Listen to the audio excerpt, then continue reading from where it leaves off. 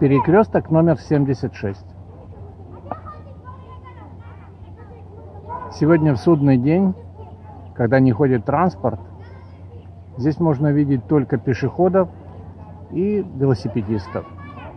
Это большая-большая радость для них.